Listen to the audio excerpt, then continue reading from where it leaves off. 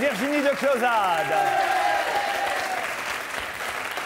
Virginie qui nous laisse admirer son magnifique. euh, on dit quoi On dit un tatou, c'est ça C'est un tatou Bah oui. On dit plus un Écoutez, il est pas tatouage mal. On ne dit plus On un dit un tatouage. Mais c'est un vrai? Oui. Tu veux dire que ça s'en ira plus jamais? Non. Mais j'en ai cinq. Hein. Non. Si, mais au fur et à mesure, je les dévoilerai. Voilà. Ah, ça, ça va nous faire monter l'audience, dites donc. Cinq Non, mais attends, mais moi j'en avais compté 7. Non. Tu comptes mal. Tu le sais bien, écoute. Allez, passons tout de suite à la photo du jour. Et cette photo, c'est celle des émeutes à Budapest, en Hongrie, suite aux propos, vous le savez sûrement, du Premier ministre hongrois. Propos enregistrés à son insu qui ont choqué tout le pays. On n'a rien foutu pendant quatre ans, a-t-il dit. On a menti matin, midi et soir. Nous avons merdé. Et pas qu'un peu, beaucoup. Personne en Europe a fait de pareilles conneries. C'est là qu'on voit quand même que la Hongrie est une jeune démocratie. Chez nous, un gouvernement qui ment, il y a longtemps que ça choquerait plus personne. Et chez nous aussi, on a un ministre dont les propos avaient provoqué des émeutes en banlieue en novembre dernier. Regardez, souvenez-vous. Et en plus, il a des origines hongroises. Ça doit être une tradition de là-bas. Pierre Si ça se passait en France, on virerait immédiatement l'ingénieur du son qui a, qui a- qui laissé passer ce truc. Alors justement, interrogée euh, sur ce qui se passe en Hongrie, Madame Ségolène Royal a été fort peu diplomatique, selon le Figaro ce matin. À la question « Le Premier ministre socialiste hongrois doit-il démissionner ?», Ségolène Royal a répondu « Je le pense ». En même temps, peut-être qu'elle non plus, elle savait pas qu'il y avait un micro. hein. Jean-Bernard Moi, ce que je comprends pas, c'est que ça vous étonne qu'il y ait quelqu'un qui parle vrai et qui dise ce qu'il pense. Mais il n'a pas C'est parlé quand même, vrai, C'est quand même formidable. Elle dit, il a, euh, il a fait une connerie, il ferait mieux de s'en aller. C'est tout à fait normal et justifié de dire Euh, ça. Ségolène élue ou non, elle fera exactement la même chose euh, pendant 5 ans. Elle mentira, elle foutra rien, elle attendra que le Oh. prochain revienne. Donc, euh, bon. Là, je te trouve, un peu, gentil. je te trouve un peu pessimiste. Euh, non, j'adore la franchise de Virginie. Je suis fan. Stevie, un mot là-dessus? Bah, moi, Ségolène Royal, j'aime bien, mais en même temps, quand je la vois critiquer Nicolas Sarkozy aussi, euh, quand oui. il est parti voir Ça te George fait Bush. mal Mais ça, ça me fait pas mal. Ce qu'il y a, c'est qu'il faut être diplomate. Tu es obligé d'aller parler aux gens, même si tu n'es pas d'accord avec leurs idées. Si tu ne parles qu'aux gens qui ont les mêmes idées que toi, le débat n'avancera jamais. Donc je, je- sais pas je- pourquoi elle critique comme ça. euh, Je sais que tu prends des antibiotiques, c'est pour soigner ta sarcosyte En tout cas, cette semaine, Ségolène Royal fait la une de gala. Ségolène intime tous les secrets de famille. Et en page intérieure, regardez bien cette photo. On voit que Ségolène Royal fronce les sourcils. Et ce n'est pas du tout à cause du soleil. On va vous montrer la photo en entier. C'est juste parce qu'elle n'est pas contente du tout. Ce feignant de François Hollande n'a pas dressé la table et mis le couvert avant qu'elle rentre à la maison.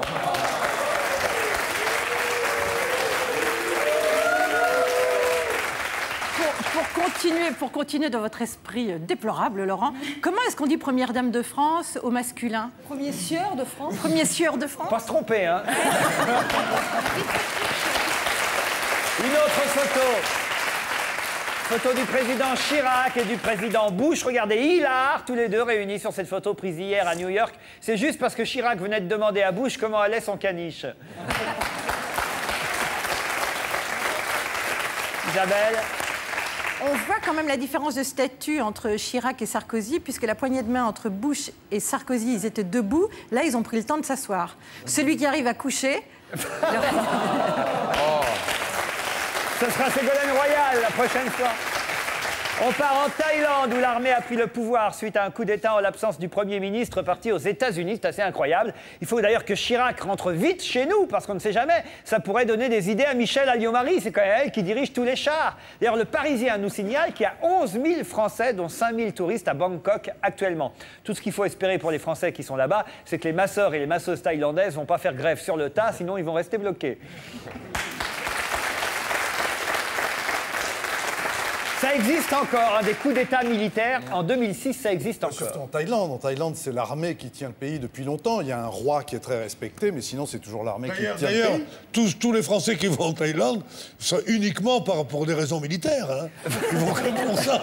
Un mot maintenant sur une première médicale qui a eu lieu en Chine. La première greffe de pénis. Un homme de 44 ans qui psychologiquement n'a absolument pas supporté la greffe du pénis d'un donneur qui lui avait 22 ans. Faut dire que c'est quand même con de redémarrer avec zéro expérience dans la vie, euh, franchement. hein. Le pire, le pire, j'ai imaginé, c'est si le greffé du pénis rencontre la greffée du bas du visage. Tout de suite, ça fait un plan à 4, c'est malsain. Ben oui, c'est vrai, Pierre. Je suis désolé. Qu'a fait le calcul Non, non, c'est pas possible. C'est pas possible. C'est vraiment ces histoires de fausses pipes, ça me tue. moi. Non mais. C'est assez dommage du point de vue médical parce que je crois que ça avait très bien marché. Il y avait eu 7 heures d'opération et le problème, ça n'a pas du tout été un rejet. C'est un rejet psychologique. Exactement. Le sien Pas et sa le femme. sien, Sa le femme et celui de sa femme. Sa Bah femme oui, mais- avait un pénis. Sa femme a découvert, rien. a découvert chez son mari un pénis. Enfin, elle devait être un peu au courant quand même de l'opération. Mais elle a, elle a découvert un, un pénis qui n'était pas le sien. Elle a eu- elle Mais a on eu- va, on va le rendre à Amanda Lear maintenant. Elle a eu.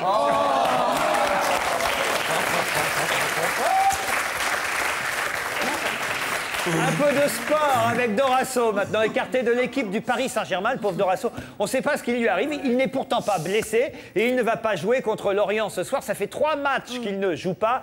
Guy Lacombe, l'entraîneur du Paris Saint-Germain, se serait en fait aperçu que Dorasso filmait les entraînements du PSG et qui revendait les cassettes au club adverse. Oui, Pierre. C'est honteux ce qui se passe avec Dorasso. C'est le plus intelligent des joueurs de foot. pour ça. Il est malin, il est formidable. Ils ne peuvent pas le supporter parce qu'il est moins bête que les autres. Il n'a pas la langue de bois en me disant on a ce qu'il faut dans le pantalon, et tout ça, comme les autres. Et il me fait penser à qui? Dominique Rocheteau. Dominique Rocheteau. C'est vrai? Parce que je cherchais le nom de Dominique Rocheteau, il me dit je vais te le trouver, c'est un nom en I. Et oui, Rocheteau. Allez, on termine pour rester dans le sport avec Janie Longo qui défend aujourd'hui les chances françaises au championnat du monde de cyclisme à Salzbourg, en Autriche. En fait, si Janie est à Salzbourg, en Autriche, c'est pour l'année Mozart. Comme ça, ils peuvent fêter leur bicentenaire tous les deux en même temps.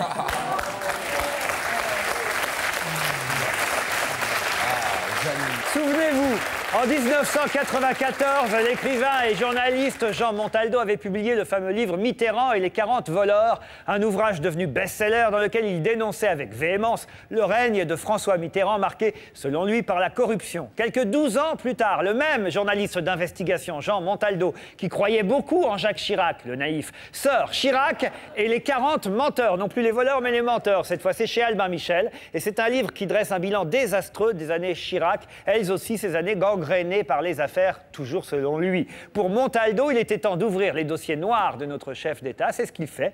Euh, il prend des risques quand même dans ce livre, donc Chirac et les 40 menteurs, menteurs, pardon, Chirac et les 40 menteurs, j'arriverai pas à le dire.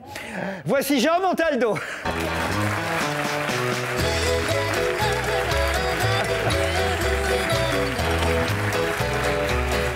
Bienvenue, bonsoir.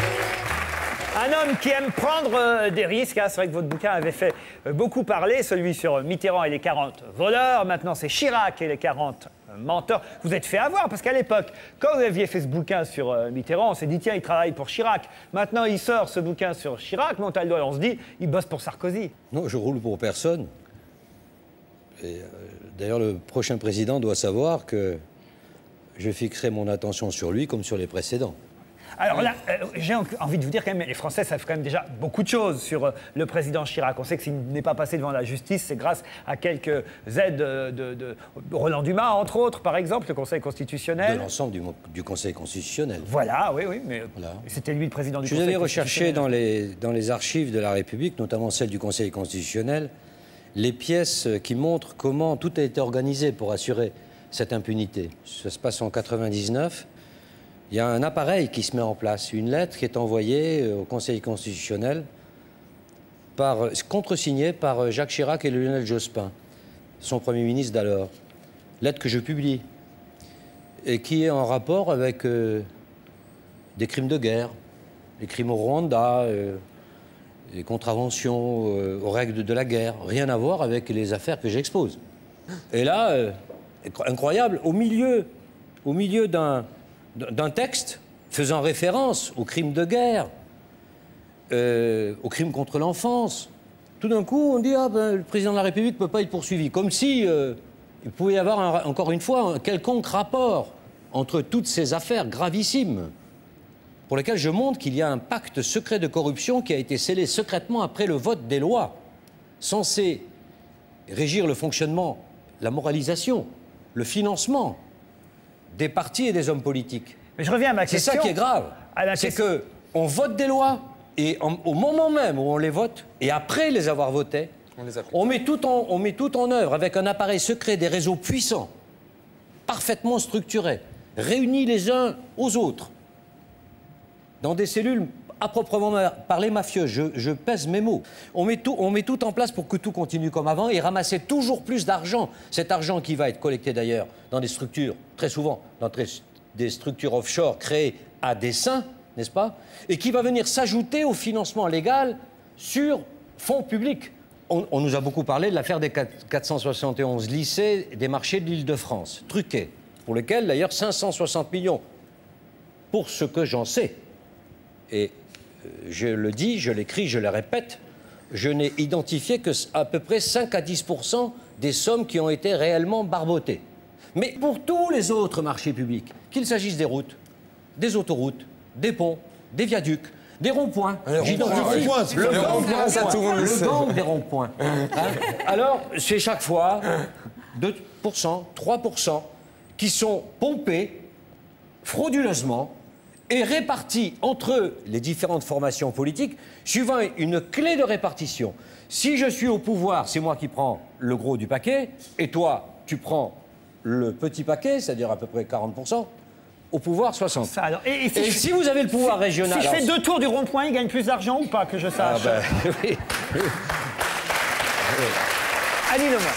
Je sais pourquoi votre livre va marcher, parce qu'il répond à un gra- grand fantasme des Français. Bien sûr, ils ont tous envie que les hommes politiques se mettent à table et disent, ce que vous demandez d'ailleurs à la fin du livre à Chirac de faire, disent voilà, j'ai commis telle faute et je vous demande de m'en excuser. On a tous envie de savoir pourquoi, comment, quelles étaient. Parce qu'on entend parler. La chanson est familière dans votre livre. Les marchés truqués des lycées d'Île-de-France, oui, on a entendu parler. Le juge Alphen qui a été décédé, oui, on a entendu parler. Euh, la cassette de mairie et Strauss-Kahn qui dit ah bah je l'ai perdu. On, se souvient, mais on on n'arrive pas très bien, nous, euh, les citoyens de base, à mettre, euh, je me mets avec eux, oui, à faire un lien. Or, la chanson, vous faites le lien. J'ai et fait vous, le lien, Vous racontez. Donc, il y a le fil de la. qui- le- la chanson est, est chantée. Donc, évidemment. Oui, c'est a- comme un thriller. Voilà. J'établis, le- il y a- il y a- c'est comme un TGV. Oui, c'est la théorie du complot qui nous a fait tant Non, de mal. mais quoi. non, la théorie. Mais Avec des Pierre, tests. ce n'est pas en cassant le thermomètre qu'on fait tomber la température. Bonne formule. Nouvelle, mais bonne. Alors, votre démonstration, c'est euh, Mitterrand, Chirac, blanc Et les nuisibles, comment on les éradique? Allô? Avec la lumière du soleil. Annie La Lemoine. dame vous parle. Votre, votre démonstration, c'est Chirac, Mitterrand, blanc bonnet, bonnet blanc. euh, et- Ah non. Ah, Ah si, non. Vous, vous le dites. Ah non, je dis que sous Mitterrand, on est à l'ère artisanale.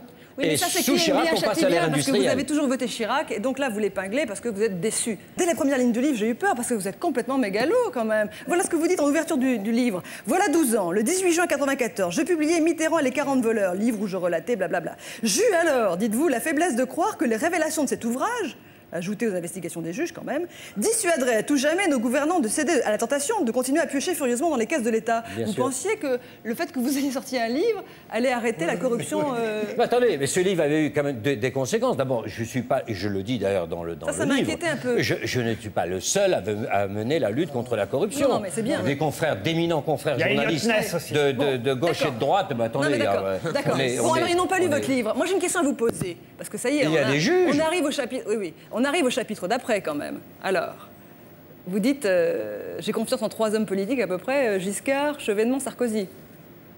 Donc vous roulez pour Sarkozy.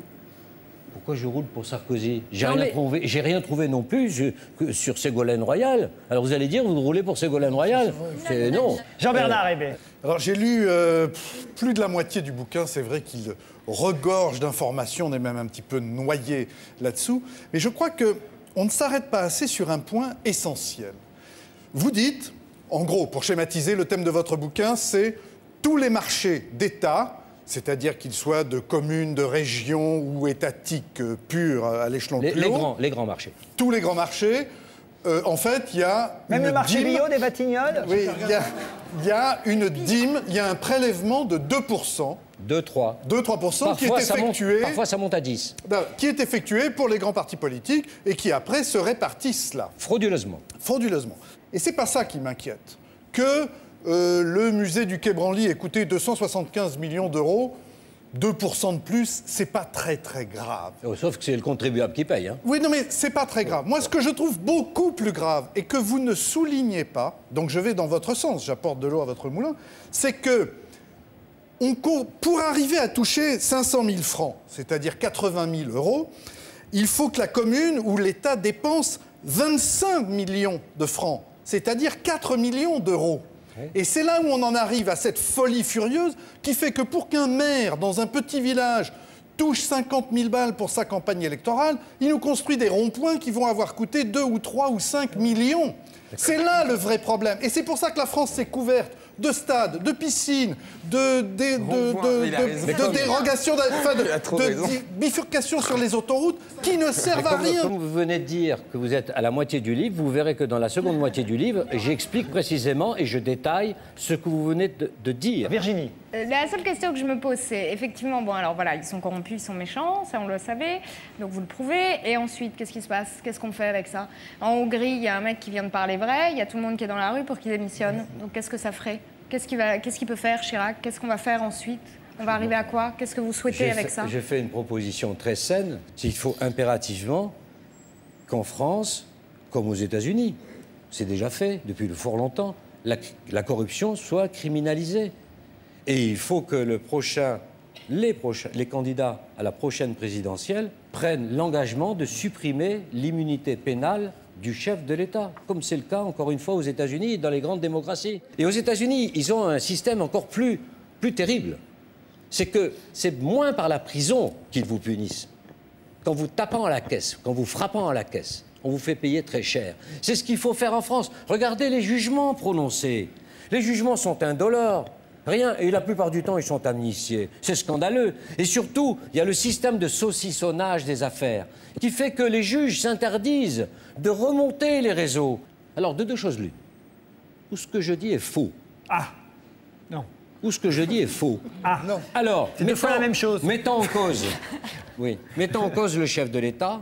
Pour l'honneur de sa fonction, il doit me poursuivre en justice par application Vous de la loi. rêvez, hein Vous en rêvez, hein Pas du tout, pas du tout, parce que s'il me poursuit en justice, je serai appelé à me défendre Oui, à tout prouver. et, et- et à tout prouver. Stevie, Mais si ce que je que dis, là que votre- si ce que je dis est vrai, en revanche, eh bien, je lui demande rien de plus, rien de moins, de demander pardon aux Français de les avoir trompés. Stevie, Quand on lit votre livre, on se dit, mais en fin de compte, la démocratie, c'est génial, mais c'est comme le poisson, ça pourrit par la tête. Donc on va jamais s'en sortir. Voilà, en gros. Non, mais Justement, que vous c'est vrai, on va, on va jamais s'en sortir. je vois que vous Parce que normalement, c'est une dictature. Alors, la dictature, c'est tout pour un mec, et les autres sont, sont des esclaves. Oui. Et là, en démocratie, bah, c'est un maximum qu'on prend le plus de possible, et euh, le, le peuple, et bah, bah, le peuple, il est là, et puis il paye pour ses conneries. Eh bien, moi, Donc je- voilà, en j'écris gros, cela euh, pour réveiller le peuple et lui demander de mais sortir oui, mais de son inertie. Vous apportez pas la solution. C'est c'est bien de le révéler. Mais ce n'est pas, mais- je ne suis pas un élu, c'est euh, c'est aux élus à, à respecter la loi qu'ils ont votée. Et, et- et je demande aux juges de- de- d'appliquer la loi, ce qu'aujourd'hui, ils ne font pas. je voudrais vous poser une question pour finir. Vous êtes républicain,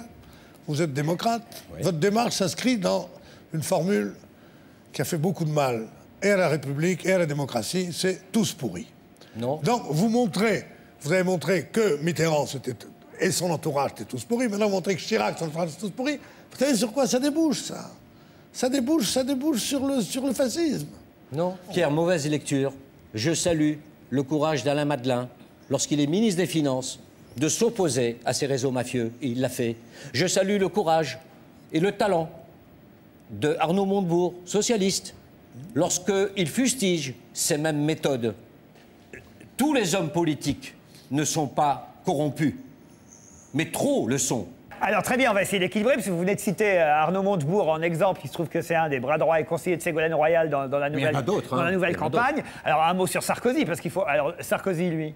Euh, Sarkozy, quand, quand Sarkozy euh, s'emporte et se, se met en colère contre la décision de Jacques Chirac de gracier Guy Dru, qui a cédé à la corruption, je ne peux que saluer cette, ce- ce- cette, cette réaction saine, de la même manière que je le fais pour des socialistes. Chirac et les 40 menteurs, ça fera sûrement autant de bruit que Mitterrand et les 40 voleurs. Combien vous en aviez vendu de celui-là, le précédent? Mitterrand et Carvoleur Ouais. En librairie, 850 000, et puis après avec les clubs et les, les livres de poche. Ça fait ben, beaucoup au d'argent. Qu'est-ce que vous avez dû payer comme impôt Mais c'est sûr. Non, parce qu'il a une combine. La combine, je l'ai pas. Parce que Je retire ce que j'ai dit. Et si vous m'attaquez, vous gagnez. Le nouveau, c'est Chirac l'enfer fiscal, après l'enfer de la Oh, corruption. puisqu'il m'interrompt même quand je fais la promo de son bouquin. Merde, au revoir, Jean Montaldo. Oh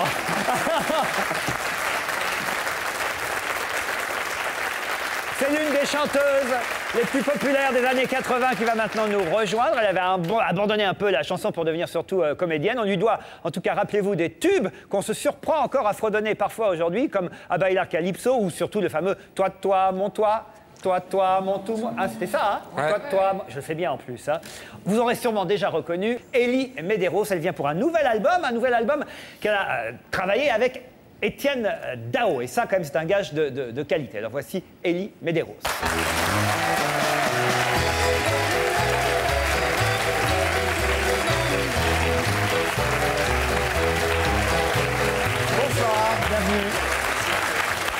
Ellie, c'est le nom de l'album, tout simplement. For You, c'est le nom euh, de la chanson qui commence à circuler un peu partout et vous serez les 9, 16 et 23 octobre prochains, c'est bien les bonnes dates Oui. au nouveau casino. C'est où le nouveau casino? Oberkampf, à À Paris. Oberkampf, à Paris. C'est un retour à la chanson pour Elie Medeiros. Voilà. C'est Étienne Dao qui vous a convaincu? Il a été très insistant. C'est-à-dire? Il a toujours manifesté son mécontentement du fait que je faisais plus de musique. Il avait envie d'entendre un nouvel album, et... mais il pensait pas s'impliquer vraiment directement. C'est quelque chose qui est arrivé comme ça. Alors ça veut dire quoi s'impliquer là? Ça veut dire qu'est-ce qu'il a fait euh, Tout Non? Euh, D'abord, il m'a il m'a beaucoup soutenu. Et puis un jour où j'avais déjà tout le matériel pour faire un album et que j'avais vraiment envie de le faire, mais j'étais un peu dans une impasse. Et lui, il m'a dit, euh, mais si ce que tu veux faire, c'est vraiment comme ce que j'ai connu de toi au début, vraiment rock à l'arrache, sur l'énergie, avec ce que je préfère chez toi, je le fais avec toi. On va regarder tout de suite un extrait de la chanson For You, première chanson extraite de l'album.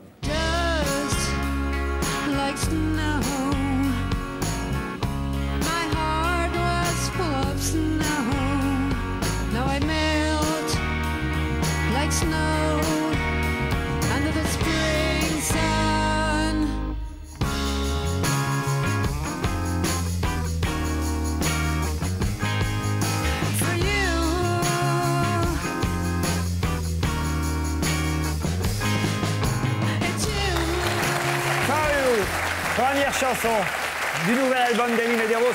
J'ai envie de me tourner tout de suite vers le spécialiste du genre, Jean-Bernard Hébé. Alors, Et pourquoi vous voulez lui gâcher son intervention à la télévision tout de suite en commençant par moi? Alors, je connais Elie Medeiros depuis euh, fort longtemps. Je ne la connais pas personnellement, mais enfin, nos routes se sont euh, croisées à l'époque où elle était dans la punkitude euh, française de Stinky Toys avec Jack No et d'autres groupes. En fait, elle a toujours voulu que, que sa vie et qu'elle-même soit une œuvre d'art.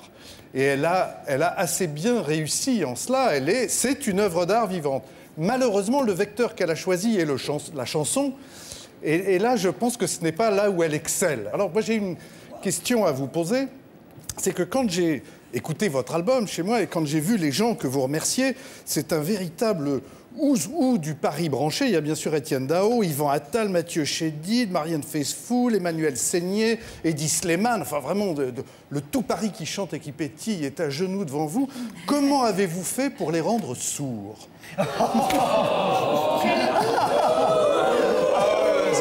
euh, Voilà, je vous avais dit qu'il ne fallait pas commencer par moi. mais non, mais attendez, faut que je vous explique pourquoi j'ai commencé. Non, parce qu'il y a des petits secrets de cette émission que vous ne connaissez pas, Elie Medeiros. Généralement, on me fait une petite fiche comme celle-ci, où on me dit un petit, un petit résumé, parce qu'on ne se parle pas les uns et les autres avant, et on me dit en deux mots ce que chacun a pensé du disque. Et je vois à côté du nom de Jean-Bernard Hébé, ça porte bonheur. Donc j'ai cru. j'ai cru.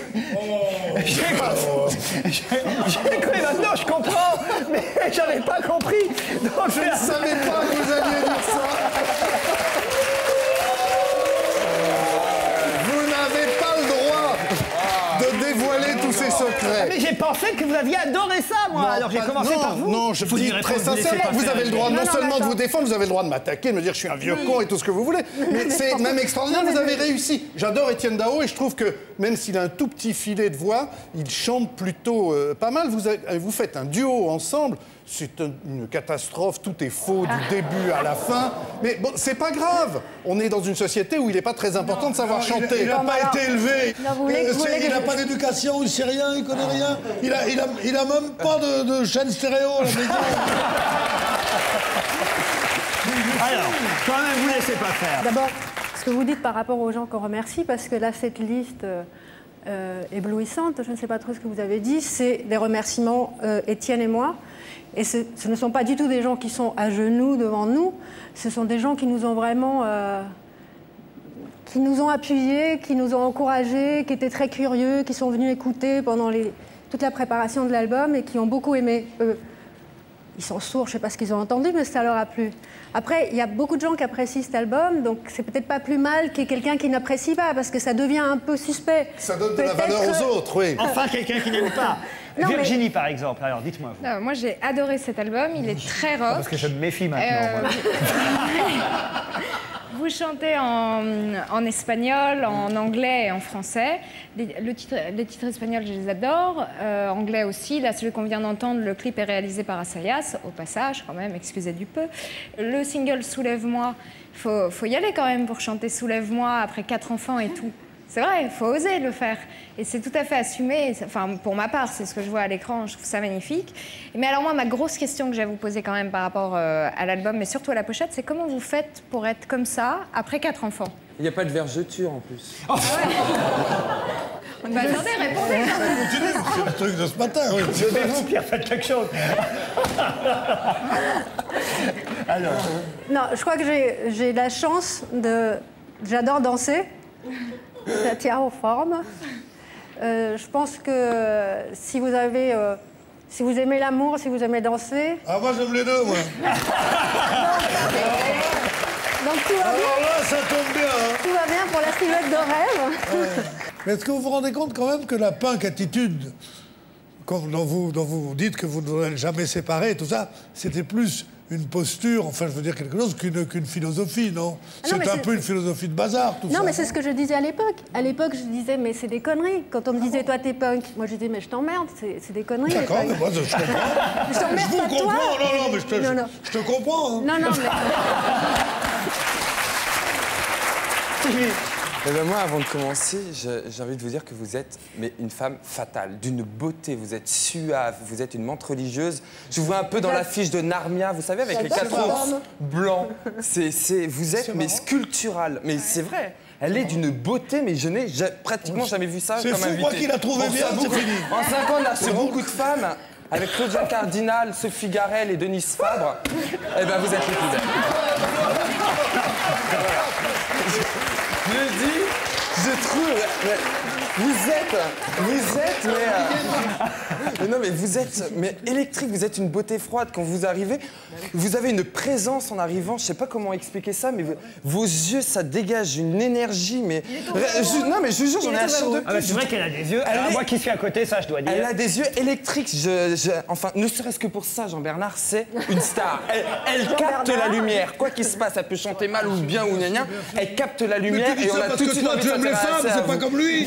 ハハハ Oui, j'aime les femmes. Le nouvel album d'Elie Medeiros avec la complicité d'Étienne Dao. Moi, je vais garder le vôtre et vous allez repartir avec un de ces trois albums. Mais alors avant, il va y avoir une torture. Il va falloir écouter les avis de Jean-Bernard Hébé. Vous n'êtes pas obligé de les suivre pour choisir lequel des trois vous voulez prendre. Et on commence, Jean-Bernard, par Madeleine Perrault avec un album qui s'intitule Half the Perfect World. Alors, vous savez que les Français adorent qu'il y ait des avertissements sur les produits en général. On veut mettre sur les bouteilles de vin, euh, attention, si vous êtes enceinte, ne buvez pas de vin. Eh bien, il va falloir mettre un petit sticker sur le disque de Madeleine Pérou. La sécurité routière va demander à ce qu'il soit recommandé de ne pas l'écouter en conduisant, parce que ça provoque la somnolence. Ça risque. Alors, c'est à une nouvelle marque de somnifère que Madeleine Pérou a prêté sa voix, ou en tout cas son filet de voix. Et heureusement, ce n'est pas remboursé par la sécurité sociale. La première chanson, I'm All Right. Tout le monde adore ça. Je suis sûr que vous allez aimer, vous aussi.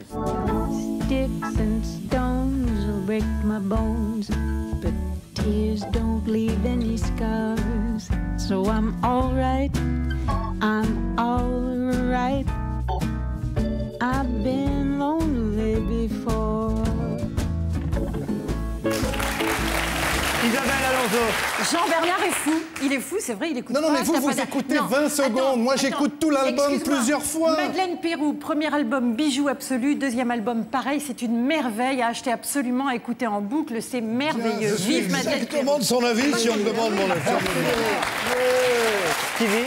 Bah, moi, je m'inquiète pour Jean-Bernard. Il va falloir que tu changes tes hormones. Hein, parce que Charlotte. Alors, qu'est-ce que ça vaut? Je connais pas ça, Charlotte. Alors, Charlotte Gainsbourg, ça fait partie des Ah, c'est gens. le... ah, j'avais pas reconnu l'album de Charlotte Gainsbourg. Voilà, c'est Charlotte Gainsbourg, elle fait partie des gens que j'ai plutôt envie de protéger parce qu'elle est, elle est fragile, Oui, elle a besoin, oui. elle est discrète, elle est plutôt classieuse comme disait son, son papa. Et dans la famille Gainsbourg, enfin, il y en a une qui sait chanter. Euh, D'accord, c'est pas Montserrat Caballé, mais c'est pas de gêne. Donc, grâce au ciel, c'est plutôt bien. Les chansons sont... la chanson euh, qui passe sur toutes les radios en ce moment est c'est géniale. formidable, elle chante bien, c'est classieux, c'est agréable. Faut écouter ça un dimanche matin où il pleut.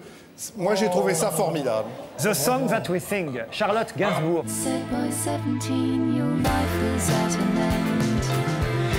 I'm dead and I'm perfectly content.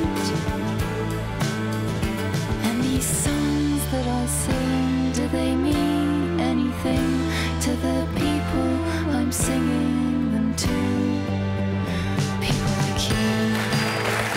Ah non, attendez, là, je n'en reviens pas. Vous connaissez déjà par cœur les paroles. Bah, c'est pas très dur à retenir, hein. Qu'est-ce qu'elle dit alors là, Non, comment elle se demande si euh, ce qu'elle chante euh, évoque euh, quelque chose pour les gens qui écoutent. Ce qui est bien de se poser comme question quand on chante, effectivement, c'est important. Stevie. Ah, mais j'aime bien. C'est c'est le genre de fille à qui on pardonne tout. On l'aime, on l'aime pour ce qu'elle est, ce qu'elle représente. Euh, mais elle représente pas forcément des choses énormes, mais elle a toujours été là. Moi, elle fait partie des meubles. Je sais pas, Charlotte Gainsbourg, hein, depuis que je suis gamin, bah, elle est toujours été là. C'est euh, pas des vieux meubles, hein. c'est Ah bah non, c'est pas des vieux meubles, mais elle est là. Il vous reste un troisième album, euh, Jean-Bernard. Alors là, cette fois, c'est Christina Aguilera. Ça, c'est plus pour Stevie. hein. Alors, elle, on l'a, on l'a connue comme une Lolita déjantée, et la revoilà en Céline Dion nymphomane. Euh, on la- on la croyait tournée vers l'avenir, bien qu'elle n'avait pas d'avenir, enfin c'est ce qu'on croyait, est et elle est tournée vers le passé, ce qui va lui donner une vraie jeunesse. On en a pour son argent, tous les sens sont comblés, la vue, l'ouïe, et si on pouvait, le toucher, c'est magnifique. Christina Aguilera, Back to Basics, c'est le titre de l'album. La chanson Ain't No Other Man. Ain't no other man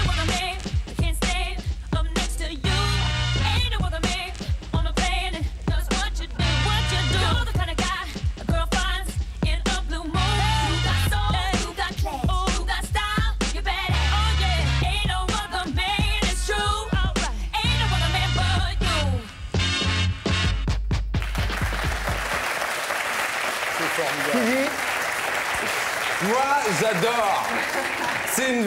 Non, mais c'est parce qu'elle assume tout à fait ce que je vais dire. C'est une pétasse, et les nanas, plus elles sont pétasses, plus je les aime. Pierre. Moi, j'aime pas beaucoup les dialogues, mais j'aime bien le film.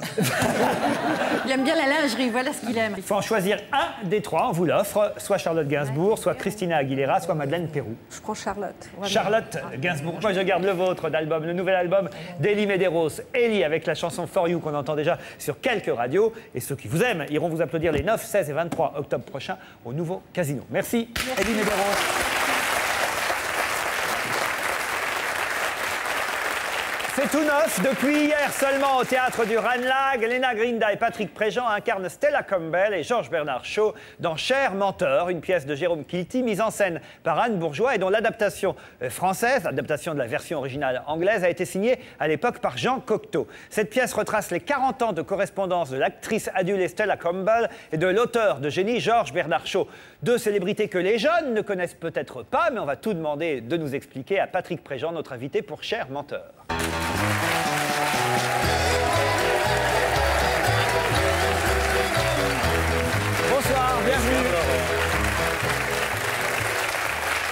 Bonsoir.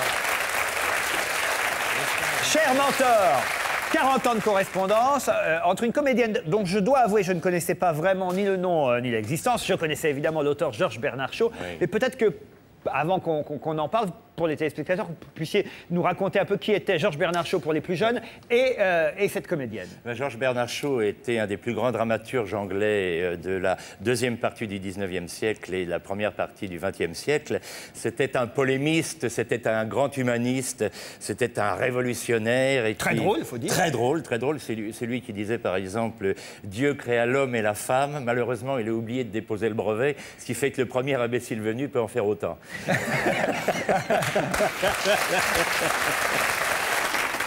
Vous êtes allé au théâtre du Ranelagh, Virginie, Je racontez. suis allée voir ça. J'ai eu un peu peur à l'idée d'aller voir euh, des lettres en scène parce que j'avais vu Love Letters que moi j'ai pas du Ah tout oui. aimé. Je trouvais ça très. c'était Philippe Noiret et Anouk Aimé. Et Anouk Aimé, que moi je, je m'étais énormément ennuyée. Je trouvais que c'était vraiment de la lecture toute plate. Et là, pas du tout. C'est Ah non, du vrai du théâtre, quoi. Oui, c'est tout à fait joué et on passe euh, un très bon moment. On salue Philippe Noiret et Anouk Aimé qui nous regardent Voilà. et qui vont avoir apprécié ce léger commentaire. Isabelle Alonso. Alors, euh, Virginie a raison, décor, costume, mise en scène, théâtre magnifique, acteurs excellents. Ce sont deux personnages qui, euh, qui souffrent comme nous tous de l'amour, du désamour. Ils sont mariés chacun de leur côté et aussi du temps qui passe avec une certaine élégance, beaucoup de légèreté. C'est très agréable à suivre. C'est c'est bourré de citations de Georges Bernard Shaw. Alors, j'en ai noté trois. Euh, la solitude est merveilleuse, mais pas quand on est seul. Ou alors, la vie est trop courte pour le genre de baiser que j'imagine. Et vous m'avez perdu parce que vous ne m'avez jamais trouvé. Alors voilà, c'est parsemé de phrases comme ça. Alors, C'est au Ranelagh à 19h.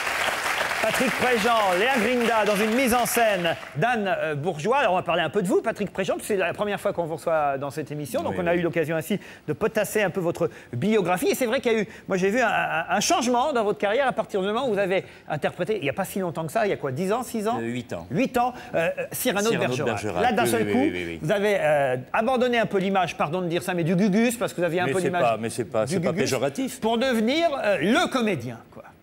Non, c'est vrai. Ça me touche beaucoup, si vous me dites. C'est Cyrano alors qui porte chance? C'est Cyrano qui porte chance. D'un seul coup, euh, j'ai eu un menton à la place du nez. Oh, Vous avez un menton déjà. euh, Je vous en prie, faites très attention à ce que vous dites. Faites très Je attention. sais, parce que j'ai le même. Ah oui Il a le même Il a le même, mais lui, il a été opéré, raboté. Ça a failli s'appeler Cher Menton d'ailleurs la pièce. J'ai un petit message à faire passer à Stevie de la part de son pote Tigrou. Mon cher Stevie, je sais que vous êtes un grand copain de bourriquet et je suis ravi d'être avec vous ce soir. Ah, parce que c'est vous oui, oui alors ça, ça une- me touche beaucoup parce que j'aime beaucoup Tigrou. Ah.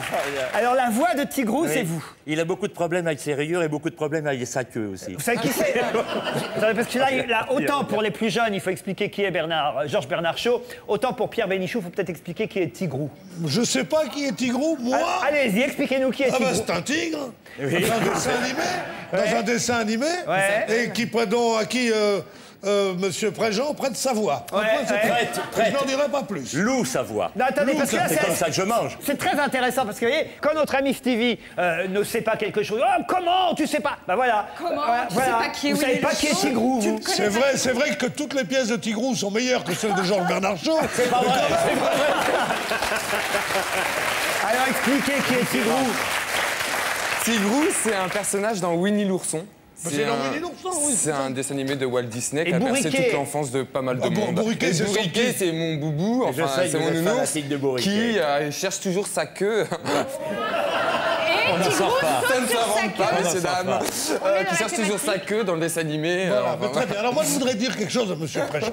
Oui, monsieur. Je voudrais dire que votre carrière, c'est le genre de carrière que j'adore. Parce qu'en général, on a toujours des mecs qui sortent de la comédie française, puis qui jouent machin, puis qui finissent après par faire le clown. Vous, vous avez commencé par faire le clown. Vous avez commencé par faire du doublage. Vous avez commencé par faire. J'ai vraiment fait le clown parce que j'ai débuté au cirque chez Jean Je Richard. sais, chez Grus, vous avez commencé ouais, là, oui, chez, ouais, ouais. chez Jean Richard.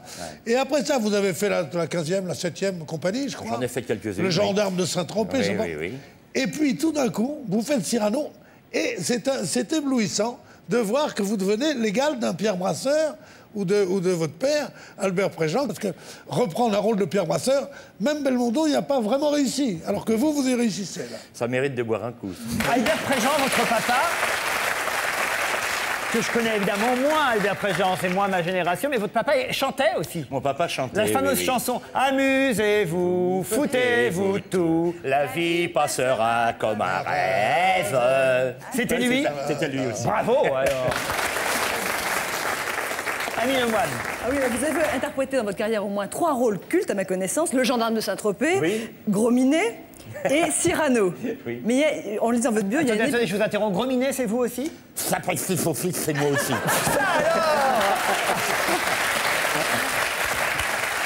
En général, en général, quand je double ces personnages avec mon ami Patrick Guillemin, euh, les- ceux qui sont à côté de nous sont obligés d'être des bavoirs tellement on crache partout.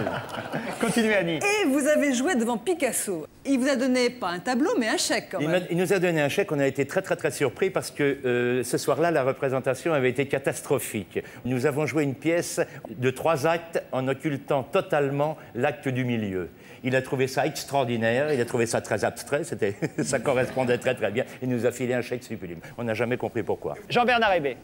Euh, Tout ce que je voulais dire a, déjà été dit, à peu, de- à peu de choses près. Je voulais vous dire en tout cas que ça vous va très bien euh, d'avoir changé de physique. Pourquoi vous avez l'impression d'avoir un miroir en Oh face non, de vous vous avez le droit de me copier, c'est votre problème. J'ai pas le même menton que vous. Mais non, ce que disait Pierre est tout à fait exact. Vous avez fait presque 100 films. Et aujourd'hui, j'ai l'impression qu'à 62 Et quelques ans, années. so- soix- Voilà, oui, des une poussières. nouvelle jeunesse vous arrive. Et je voulais vous féliciter. Vous êtes euh, beau, dynamique. Oui, ça nous donne, ça nous donne espoir. Enfin, Mais nous- vous êtes tous les deux très jeunes, bien rasés, on verrait pas. Je vais vous présenter, moi, quelqu'un qui s'appelle Mustapha. Et là, Tracy, il va nous faire sa revue d'actualité. Voici Mustapha.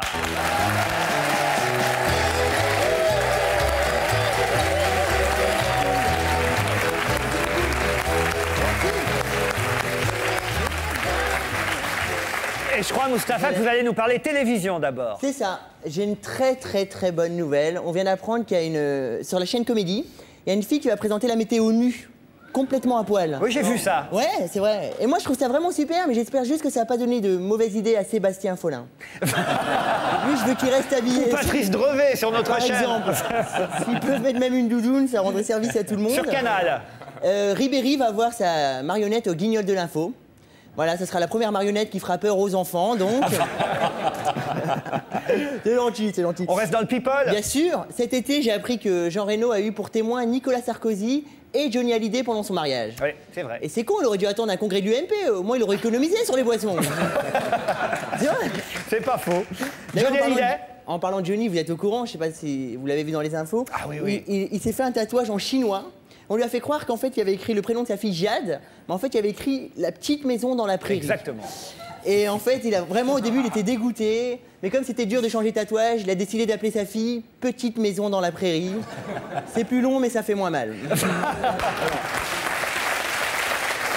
C'est quoi, vous, sur votre tatouage euh Ça, ça, ça veut dire j'aime Mustapha en maori, je crois. Je crois que c'est ça. Tu parles couramment maori Tout le temps. On pourra en parler très plaît. après l'émission si tu veux. Un peu. Euh, Encore Johnny, peut-être. Bien sûr, toujours Johnny. Moi, je pense qu'on lui peut faire croire, on peut lui faire croire n'importe quoi, Johnny. Je pense que c'est comme ça qu'on le ramène au congrès de l'UMP aussi. Sarkozy il a dû lui dire que c'était encore le mariage de Jean Reno. Et moi, j'adore Johnny Hallyday. hein. Vraiment, je l'aime bien. Son dernier euh, single, la Optique 2000, j'adore. C'est vraiment mortel. D'ailleurs, moi, il y a un truc que je comprends pas vraiment. hein, et ça ça fait un moment que je, je pense à ça. Les pubs d'opticiens, je comprends pas. Parce que dans les pubs d'opticiens, que ce soit Antoine ou Johnny Hallyday, ils crient tout le temps. C'est vrai, je sais pas si vous avez remarqué, Optique 2000 ou Attends, les opticiens Et les gars, c'est des lunettes que vous vendez, pas des sonotones Ça me saoule Ségolène Royal? Ben, Elle a déclaré il y a pas longtemps Je ne veux pas m'agenouiller devant George Bush. C'est vrai. Et pareil qu'il aurait répondu à ça T'inquiète pas, il y a d'autres positions.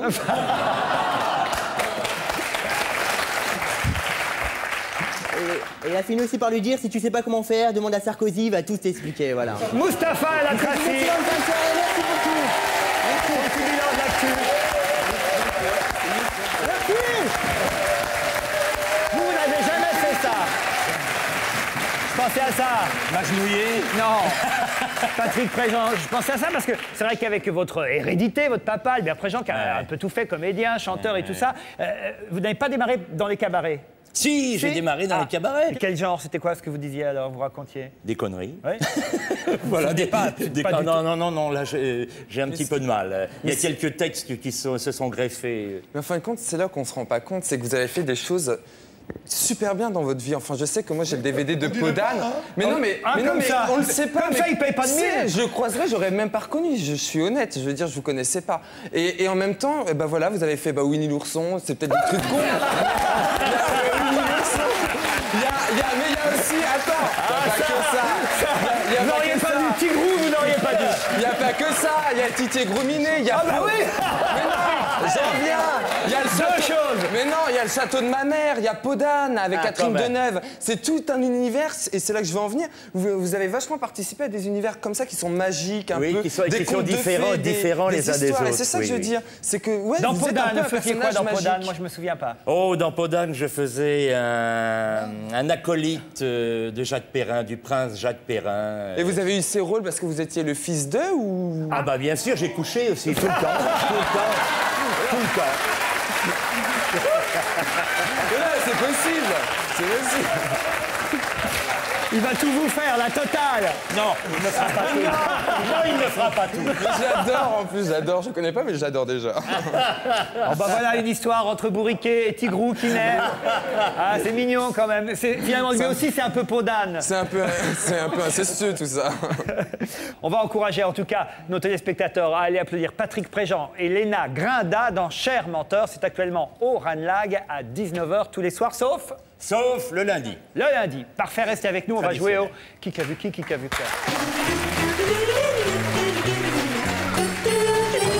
Les jeux, vous connaissez, hein vous avez été un des grands habitués des, Ah, jeux- bah, je- je- des oui, jeux, j'ai que ce soit les jeux de participé un 20 peu, heures, ouais, l'Académie des Neufs et ouais, tout ça, on vous a souvent ouais, vu dans, ces jeux-là. Alors je suis sûr que vous allez pouvoir griller la politesse Je à, sais pas sûr. à mes petits camarades et leur distribuer quelques points que vous aurez récoltés. La mieux placée sur le plateau, c'est Pierre Bénichou Non, non, non, il y a d'autres filles aussi. Il y a et Mérès, Virginie de. Closade. J'avais pas vu Pierre devant Virginie. Mais alors les autres, un zéro. Regardez le bas du classement. Jean-Bernard Hébé, zéro point. Euh, Isabelle Alonso, faut vous réveiller. les autres aussi. Première photo, regardez bien. Attention. Qui est cette dame? Ça vaut Com- 100 points. combien de points? Ah, 100, voilà. 100 points. Est-ce qu'elle est française? Elle est française, madame. Ah. Est-ce qu'elle a été amie avec une, chan- une chanteuse qui s'appellerait Barbara? Elle serait un peu de sa famille Du non? tout. Non. En revanche, elle est de la famille de quelqu'un. RG. Pardon RG. Hergé Oui, je sais pas. Non, c'est la fille de Goscinny. Non. C'est une femme de quelqu'un de connu, d'un homme connu alors Non, non. Non plus. Ah ne sais la pas, fille, la je fille sais de pas quelqu'un, d'un homme connu. Je fille vois de pas en quoi ça quelqu'un nous, ça connu. nous arrange de savoir que c'est la fille de quelqu'un. J'ai pas dit que c'était la fille de quelqu'un, je dis qu'elle était de la famille de quelqu'un. si vous aviez bien Elle est écouté. de la Ah, famille c'est d'un homme Ségolène. Royal C'est- C'est pas sa, c'est pas sa C'est de cousine Ségolène Royal. C'est pas sa La cousine cousine de Ségolène Royal. Excellente réponse, Stevie Boulet. Elle s'appelle Anne-Christine Royal et elle appartient au Front National et elle se présente contre Alain Juppé sur la liste Front National à Bordeaux. Et voilà pourquoi on en parle ce matin dans Elle la a 10 presse. enfants. Ah, Et elle a 10 enfants, effectivement, 10 enfants. 100 points pour Stevie, bravo. Photo suivante. Ah, Ah. il manque quelqu'un sur cette photo. Qui? Jean Reno Ah, c'est, euh, ça s'est passé à Monaco il n'y a pas longtemps. Oui, oui. Albert C'est l'immersion de Albert Prince Prince Albert. C'est Annie Lemoine qui a donné la réponse, oui. aidée par Patrick Préjean. Préjean. Albert II, pour l'année du Dauphin au large de Monaco. Un point pour Annie Lemoine. C'est tout Non, Oui, il vous a aidé, non, alors ça fait non. qu'un point. Photo Non, suivante. Deux points, ça vaut, soyez gentil. De qui s'agit-il 100 points. Oh, quelle mignonnerie. Très bien. C'était- Non, Ah, c'est pas Ségolène Petite c'est pas. Ségolène Petite Non, c'est pas Ségolène Petit. Ah ben ça, ça va faire plaisir à la personne en question. C'est la cousine de C'est Ségolène. François Hollande Non, Nicolas Sarkozy. non. 200 points. C'est une petite fille Ce n'est pas une petite fille. Ah, c'est un petit garçon. Dominique Strauss-Kahn C'est un petit garçon. C'est un homme politique C'est un homme politique C'est un Il chanteur s'intéresse beaucoup à la politique, on peut le dire. 300 points, ça monte. Nicolas Hulot Non, Euh, C'est- il, fait, il fait partie de la garde artistique rapprochée des hommes politiques? Non, du tout. Il est toujours torse nu aujourd'hui? Non, non, non, Est-ce que c'est un sportif? Non, Il a réussi dans les Un affaires? avocat? Non. 400 points, ça monte. Pete Doherty. Non, c'est pas lui. Pete Doherty. Non, Bah, c'est qui? 400 points. Français? Il est français, madame. Certains même disent parfois franchouillard. Ah, Michel Sardou. Non. Clavier. Non. Arditi. Non. Jean-Marie Le Pen. Non. Il est plutôt beau aujourd'hui, non Pardon Il est plutôt beau garçon aujourd'hui. Gérard. J'aurais du mal à dire qu'il n'est pas beau parce que quand je l'ai croisé la prochaine fois, il va me péter la gueule. Ah, c'est un violent. David Douillet. Non. Costaud, il Non. est costaud Seri. maintenant Non. En tout cas, il n'est pas très souriant. Hein. euh, Raffarin Non. De Villepin Non. Ah bah non, c'est pas politique. Non. 500 points, on monte. Ja- Jamel Non. C'est un comédien C'est un comédien entre autres. Samina Seri Non. C'est un comédien. 700 C'est un chanteur Chanteur, comédien, oui. Chanteur, il adore chanter. Palmade. Non. il est, il est sportif? Il chante sur scène et on ne souffle surtout pas. Scène. Lucchini, pas du tout. Bon, Un mec qui chante sur scène, qui est comédien. Il chante sur scène. En sur scène. Lambert, Lambert Wilson. Comment vous avez dit? Dubosc. Non. Lambert Wilson. Jean Benguigui. Stéphane Rousseau. Non. Christophe Lévesque. Christophe Alévèque, excellente réponse. Dany Lemoine, c'est Christophe Alévèque. Photo paru dans VSD cette semaine. Cher menteur, c'est le titre de la pièce que joue actuellement Patrick Préjean aux côtés de Léna Grinda. C'est au théâtre Le Ranlag, c'est dans le 16e arrondissement de 16e Paris. arrondissement, près de la maison de la radio. Voilà, juste derrière la maison de Radio France. On vous souhaite de longues représentations. Ça Merci. a démarré seulement hier, Hier je crois. soir, hier Ça s'est bien passé. Formidablement Encore des petits bien. trucs à régler ou pas Ben, Comme toujours. Comme il y a toujours. toujours. Un spectacle, c'est une Formule 1. Il y a toujours des petits boulons à visser ou à dévisser. Eh bien, merci en tout cas d'être venu sur notre plateau. Nous avions le plaisir de recevoir Patrick Préjean. À demain.